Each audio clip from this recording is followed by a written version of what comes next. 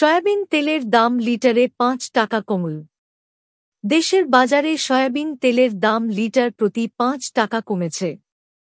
এতে করে বোতলজাত এক লিটার সয়াবিন তেলের দাম হবে এক সাত চার টাকা। বর্তমানে প্রতি লিটার এক সাত নয় টাকায় বিক্রি হচ্ছে। এছাড়া খোলা সয়াবিনের নতুন দর হবে এক পাঁচ চার টাকা লিটার। বর্তমানে খোলা সয়াবিন তেল বিক্রি হচ্ছে এক পাঁচ নয় টাকায়। আজ রোববার Bangladesh Vegetable Oil Refiners and Vanaspati Manufacturers Association এক সংবাদ বিজ্ঞপ্তিতে সয়াবিন তেলের দাম কমানোর এ সিদ্ধান্ত জানায়।